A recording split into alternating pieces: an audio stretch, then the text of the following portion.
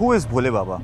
The self-acclaimed God-man in whose satsang more than 2 lakh people gathered, out of which 121 had to lose their lives and 38 got injured. Now, Bhole Baba is one of the history sheeters out here in Uttar Pradesh. He was deployed with the UP police in Etawah district. It is then that there were cases that were registered against him of molestation and rape as well. And due to these allegations, he was shunted out of Uttar Pradesh police post which he started this entire business of conning the public, conning the most downtrodden people of the society and earning crores of rupees from them. And that is the reason why the, the, the, manner in which he has been operating, he has been earning a lot of money and he has been earning a lot of followers as well. Now, Bhole Baba is also accused of conning people in the same manner. In fact, in the year 2000, an FIR was registered against him and he was taken into custody by the police as well.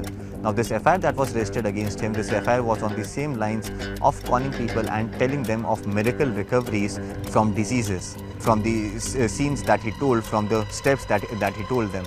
It is for this reason that he was arrested. Now, post that, once he came out, he continued conning people and made sure that he builds a massive, massive empire.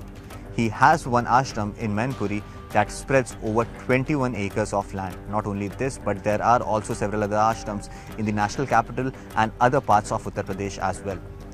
More than 2 lakh people had gathered over there. Bhole Baba now also makes sure that he stays away from the glare of the media and social media as well and that is the reason why he is not present officially on any social media platforms because he knows that if at all he is exposed to a large number of people, uh, there will be scrutiny and he, his entire uh, modus operandi will be exposed in front of the public. And that is the reason why it is absolutely not allowed to record even a single frame of his, uh, of his entire uh, entire satsang that happens and that is the uh, reason why yesterday as well when this entire incident had happened this had actually shocked a lot of people because there are very few videos at the time when the satsang was happening. Now Bhole Baba is also known uh, for his magical abilities to cure people of his diseases. He makes sure that there is very little information about him that is given out in front of the public or in front of the media.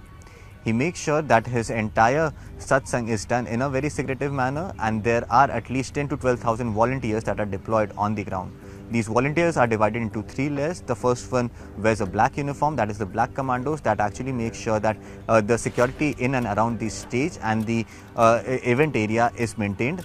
Uh, the second layer wears a white uniform this is the most crucial layer as these people actually make sure that no one is recording videos. If at all anyone is recording videos, their phones are confiscated. The people are beaten up in some cases as well. And also they make sure that people are seated inside the uh, event where the event is happening. The third layer. The third layer wears a pink uniform. These are women security personals that are deployed by Bhole Baba uh, himself. Now the most in interesting part is that none of these 10 to 12,000 volunteers take any sort of salary from the from the trust that he runs. Uh, it is just uh, uh out of their willingness and out of their uh, faith uh, on Bhole Baba that they go ahead and give everything to them.